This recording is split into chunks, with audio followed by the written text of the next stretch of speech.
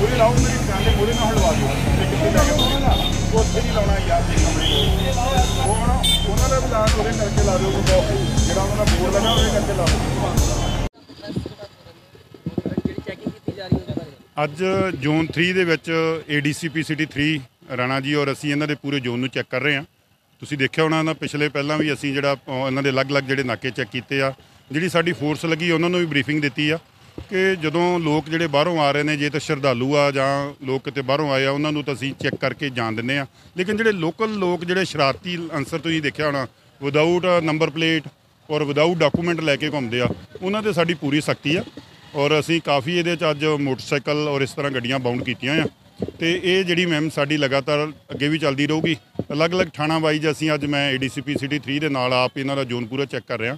ਇਸੇ ਤਰ੍ਹਾਂ ਬਦਲ-ਬਦਲ ਕੇ ਸਾਰੇ ਪੂਰੇ ਸ਼ਹਿਰ ਦੇ ਵਿੱਚ ਜਿਹੜੇ ਅਲੱਗ-ਅਲੱਗ ਜਿਹੜੇ ਅਸੀਂ ਨਾਕੇ ਔਰ ਚੈਕਿੰਗ ਜਿਹੜੇ ਆ ਸਾਡੇ ਵੱਲੋਂ, ਜਿਹੜਾ ਸੀਪੀ ਸਾਹਿਬ, ਮਾਨਯੋਗ ਸੀਪੀ ਸਾਹਿਬ ਵੱਲੋਂ, ਇਹ ਸਾਡੀ ਮੈਮ ਜਿਹੜੀ ਲਗਾਤਾਰ ਜਾਰੀ ਹੈ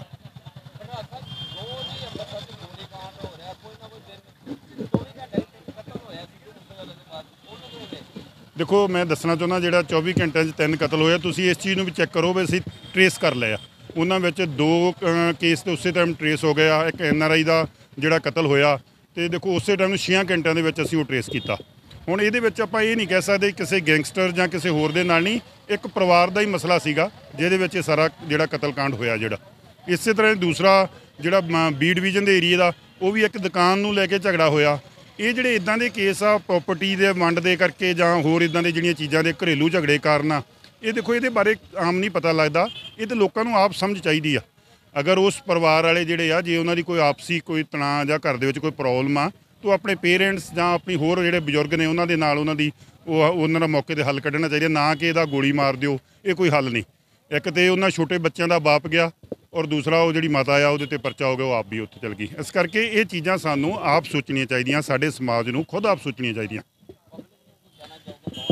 ਦੇਖੋ ਪਬਲਿਕ ਨੂੰ ਮੇਰਾ ਇਹੋ ਹੀ ਜਿਹੜਾ ਅਪੀਲ ਆ ਸਾਰਿਆਂ ਨੂੰ ਵੀ ਸ਼ਹਿਰ ਵਾਸੀ ਜਿੰਨੇ ਵੀ ਆ, ਸਾਨੂੰ ਸਹਿਯੋਗ ਦੇਣ। ਇਹ ਜਿਹੜੇ ਨਾਕੇ ਲੱਗੇ ਆ, ਇਹਨਾਂ ਦੀ ਚੈਕਿੰਗ ਚੱਲ ਰਹੀ ਆ, ਸ਼ਹਿਰ ਵਾਸੀਆਂ ਵਾਸਤੇ ਚੱਲ ਰਹੀ ਆ।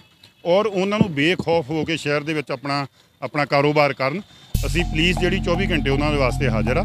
ਕੋਈ ਉਹਨਾਂ ਨੂੰ ਡਰ ਭੈ ਨਹੀਂ ਹੋਣਾ ਚਾਹੀਦਾ। ਤੁਸੀਂ ਦੇਖਿਆ ਅਸੀਂ ਪਿੱਛੇ ਜੇ 6 ਜੂਨ ਦੇ ਵਿੱਚ ਵੀ ਇਹ ਸ਼ਹਿਰ ਵਾਸੀਆਂ ਵਾਸਤੇ ਜਿਵੇਂ ਕੋਈ ਵੀ ਬਾਹਰੋਂ ਆਈ ਸੰਗਤ, ਕਿਸੇ ਨੂੰ ਕੋਈ ਸਮੱਸਿਆ ਨਹੀਂ ਆਉਣ ਦਿੱਤੀ।